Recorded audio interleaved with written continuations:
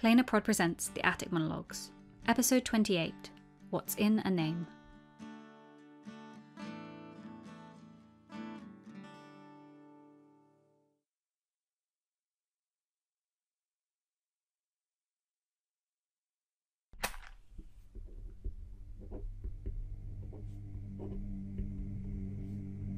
There was once a girl who learnt early how to lie.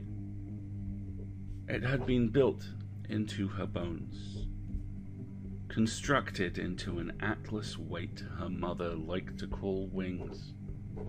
This, her mother said as the feathers bit into skin, is everything you will ever be. This is the destiny I designed you for. You will be the best of us. You will be powerful. You will fix what is broken. She did not notice how her daughter bled beneath her touch. She did not notice eyes seeking for the window as if to snatch one last gasp of sky. She did not notice how the wings only weighed the girl closer to the earth. She did notice how the feathers turned sharp, how they tore into everything the girl touched. She saw friends and almost lover kept at a distance lest they learn to like the taste of blood.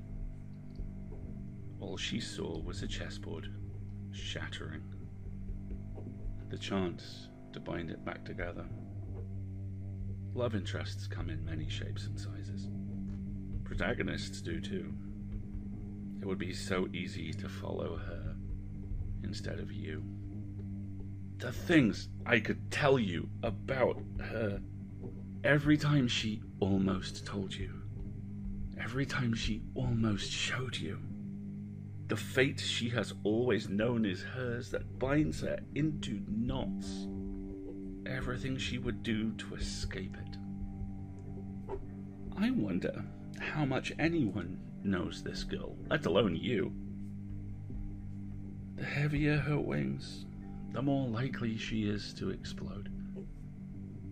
Fire does run in the family, after all.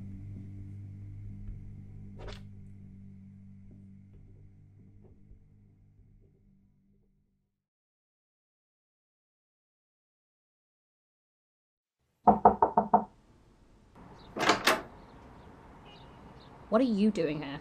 Uh, um, I'm here to see Raven. Raven, there's a child here to see you. not a ch- I don't care.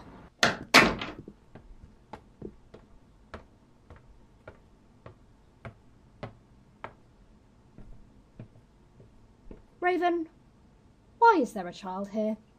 Bella's almost the same age as you. In fact, I think she might even be older than you now. You are, in fact, the child. Oh, good. It's one of your useless days. Why do I even bother? You, Bella. Why are you here? Where's your protagonist? Not, as I said, that I care. Uh, uh, uh, well, I, I'm. Agatha, this is Bella. Crow, my niece. Are you kidding me? No wonder the protagonist has no clue what's going on. You're all in on it. Raven, you're a disgusting influence. Me?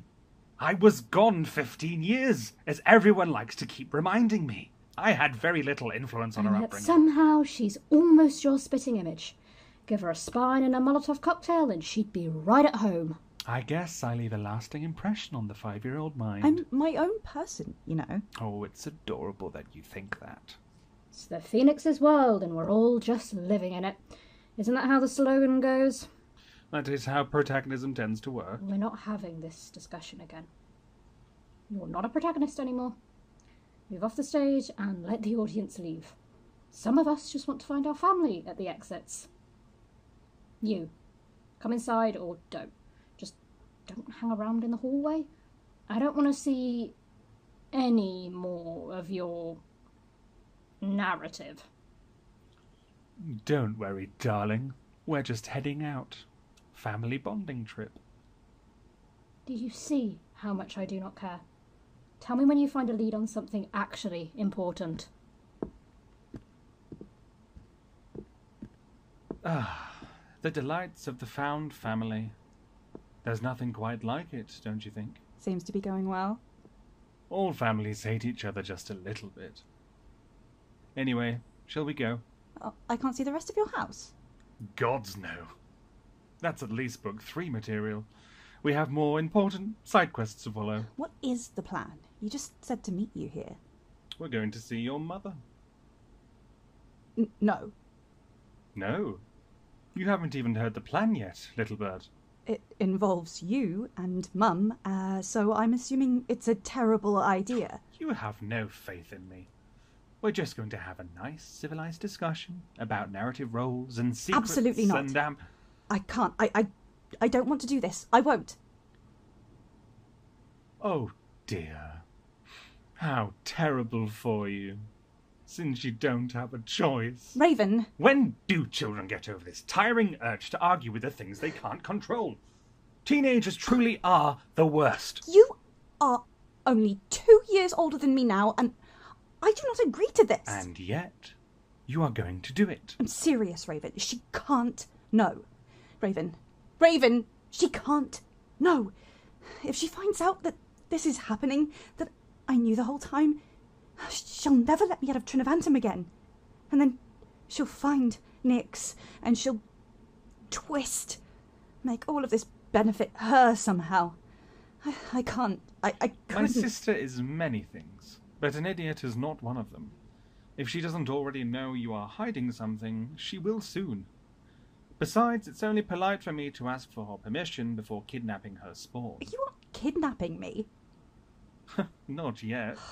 Do you ever get tired of sounding like a creepy old man? You should stop spending time with Athri. I am allowed to hate you of my own accord. We've been over this, dear niece. You don't hate me. Not yet. That's the spirit. Now let's go.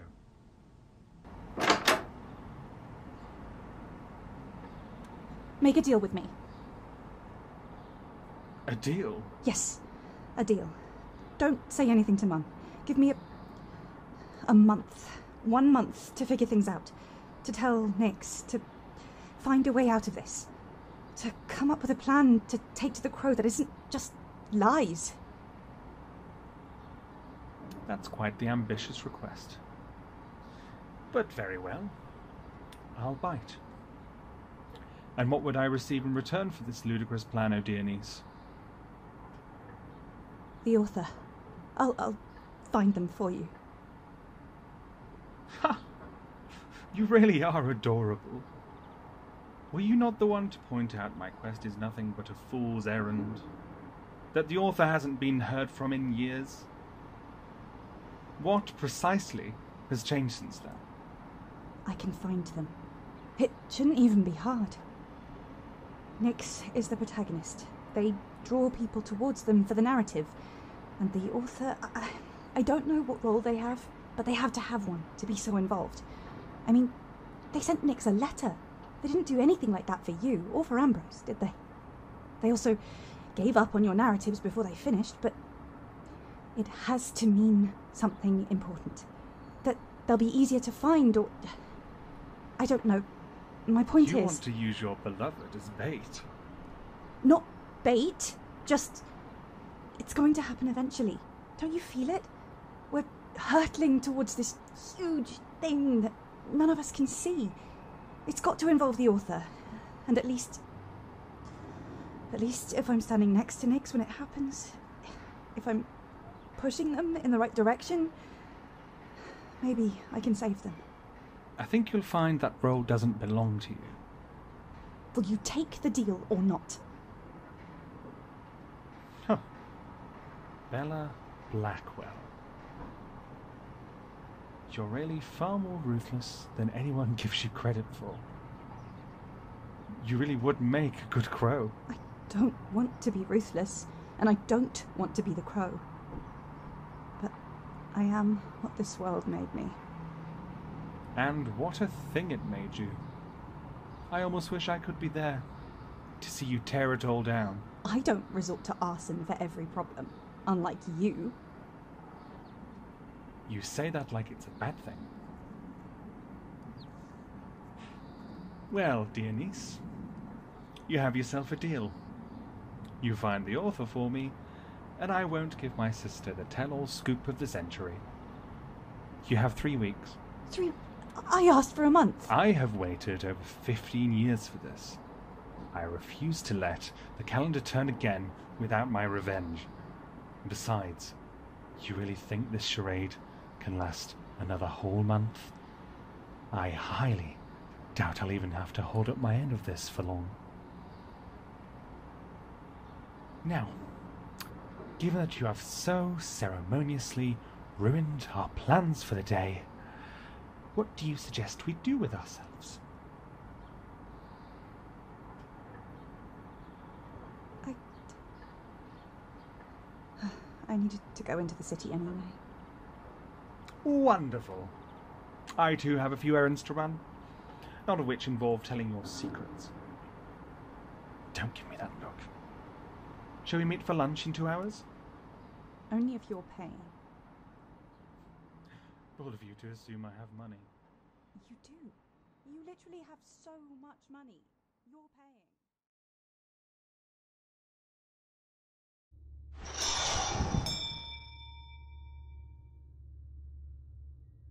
Welcome to the world of wonders, where we provide exactly what it says on the sign.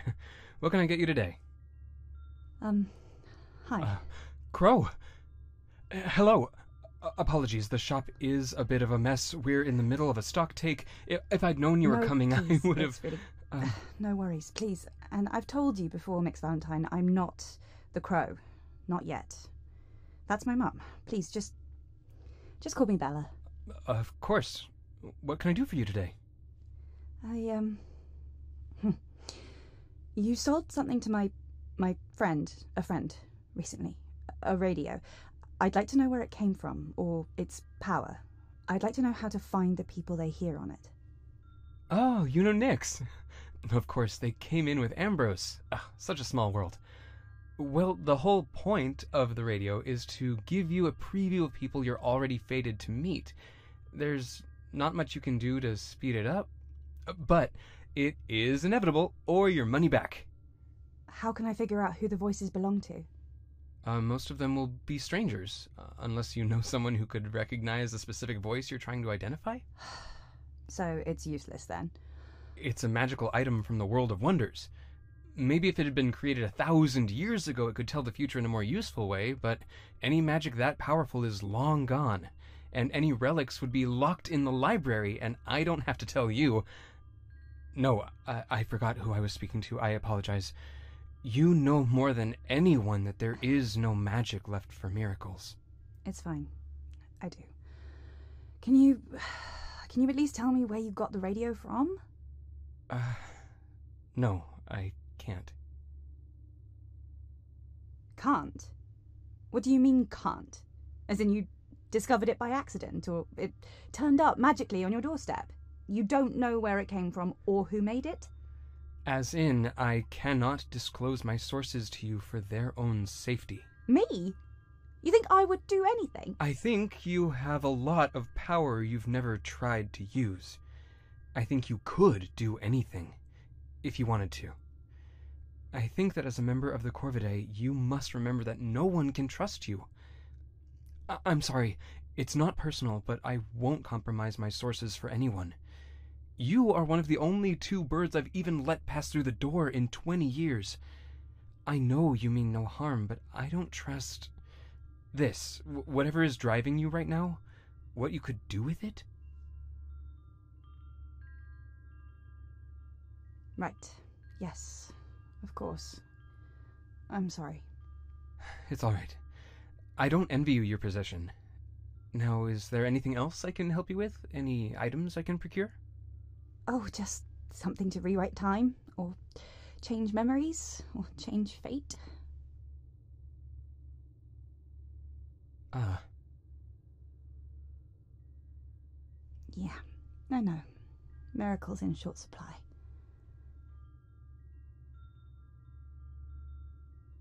Uh, I have to ask, is this. is this about the narrative?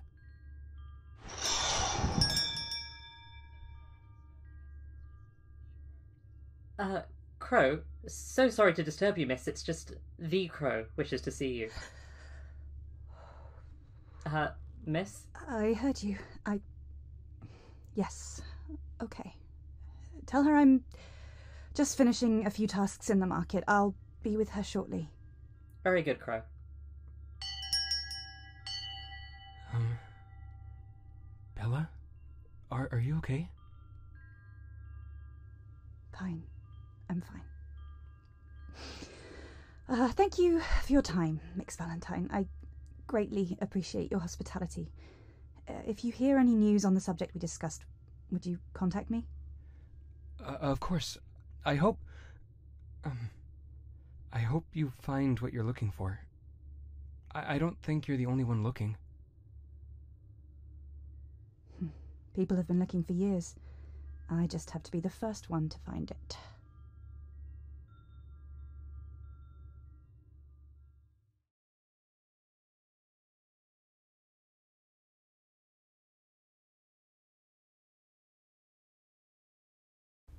Crow, your mother is in her office. She's waiting for you.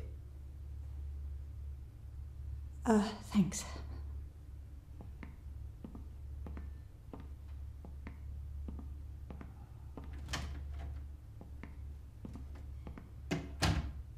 Hey, Mum. You wanted to see me? Three hours ago. I'm sorry. I had. I was doing homework. Excuses. I'm sorry. So, uh, I have an essay due Friday. I really need to get started on And that. you're only starting it now. What is the point in going to university if you don't even care enough to start your assignments on time? What exactly are we paying for? I, I do care about uni. I'm just. I've been having a bad week. I've been busy with stuff. Stuff.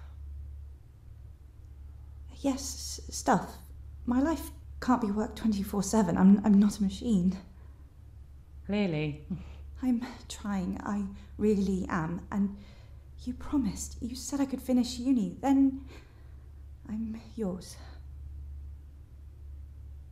Lemuna ne etiam quere nostra lingua. Ek, Muna, I, I haven't forgotten how. I just. I want to speak in English today. No one actually speaks in Trinivi, Mum. It's a written code of five. It's not supposed to be verbal. It's gora lingua. It's not the language of magic. It's the language magical texts were written into to gatekeep knowledge. You can't just rewrite history like that. What are you accusing me of? I'm not accusing you of anything. I'm just saying all these rituals you've made up to stop the magic fading. Sorry, I. uh, like I said, I've had a bad week. I've got to be sure I speak English so I don't accidentally use Trinivi outside the city. Just because magic hasn't always had a language doesn't mean it doesn't have one now. Generations of people writing all magical knowledge exclusively in Trinivi, it must have had some effect. Magic is ritual, ritual repetition, intent, want. I know. Do not mock me for the lengths I go to in order to save us, Crow. I know. I'm. I'm sorry. I, I didn't mean to. As to the reason I asked you here, I want you to entertain Raven for the rest of the day. He's hovering, and I worry he'll get ideas if he hangs around too long. Hovering. What did he want? Nothing, as usual. It's all just hot air when he speaks. Advice on what not to do without any supplemental suggestions. So I need you to occupy him. I. I have my essay. Take him to the library if you have to. So long as he isn't setting fire to any of this city or talking to me, I couldn't care less what he gets up to. Yes, Mum. Good girl. You can go.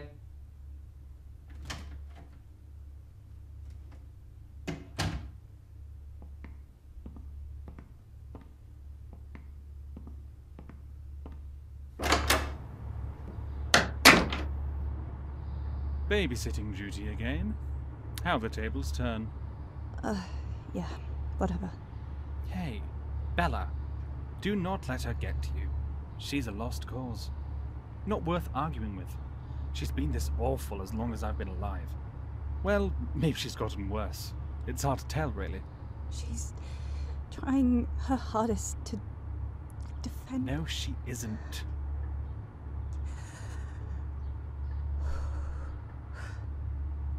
Say it again. Bella? Bella Blackwell? You are not the crow yet. You never have been. You chose Bella. You reclaimed Blackwell. No one can ever take either of them from you. Not even her. Bella Blackwell. That's right. It's a terrible name, mind you. Who chooses alliteration voluntarily? But it's yours. Thanks. Anyway, by the time your mother dies and you have to take on a role, I'll have burnt this whole establishment down, then you won't even have to worry about being a crow. Good luck with that. So, oh lovely niece, where are we going for you to complete your babysitting duties? Just the library, I suppose. Ooh, the library. I haven't been there in years. Ah, three knows your track record. I'll have to fight just to get you through the door. But there's something I need to check out. I'll have you know, I'm a recovered arsonist. I haven't set fire to any books in years. Buildings, maybe, and the occasional court document or birth certificate, sure. But I have never harmed such as precious resources books. Mind you, as we know, uh, Agatha's grammar is not the strongest, and some of her documents may have met premature immolation, but I can't say that it wasn't.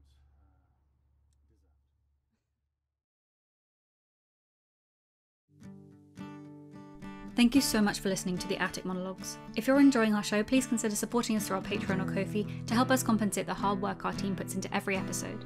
You can find the links in the show notes below.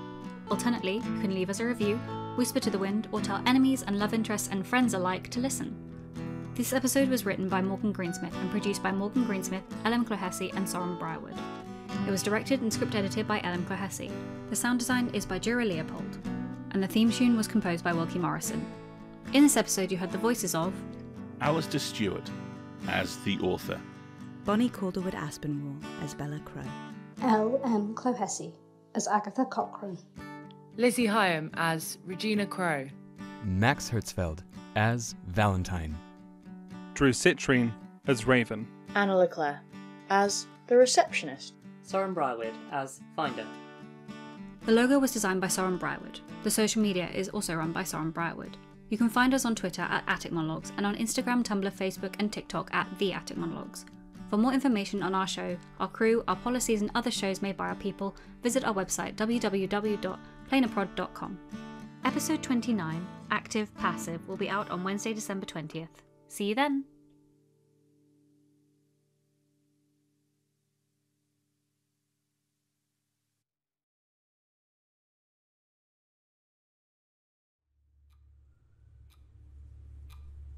How long do we have? I, uh. Just tell me. The last projections put us at 10 years, but the earthquake last week. Five. Five years?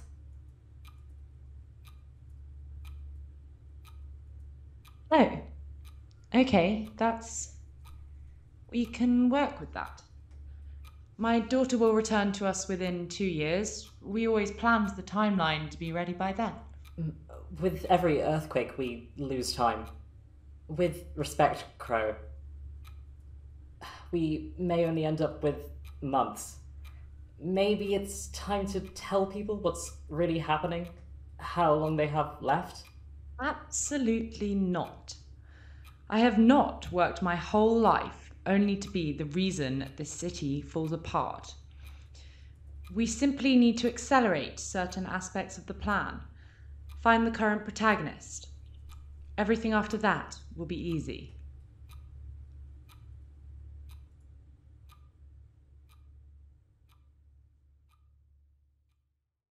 For today's promo, I'm here to tell you about Tranthologies, a listless network show that involves many of the Attic Monologues folks, both as voices and creatives. Tranthologies, as you might infer from the title, is an anthology podcast written exclusively by trans people. Our stories range from silly to serious, from short to long, but every single one of them is incredibly trans.